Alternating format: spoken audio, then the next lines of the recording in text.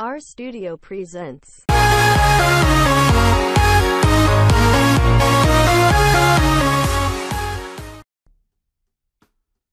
Diane Kruger is feeling thankful. The 42-year-old in the Fade actress posted a sweet message shouting out her boyfriend Norman Reedus on Wednesday, November 21, ahead of Thanksgiving.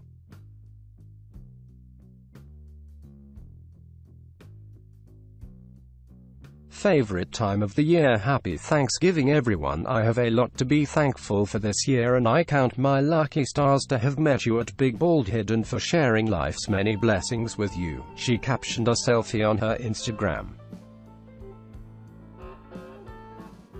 Earlier in the month, Diane and Norman welcomed the first child together.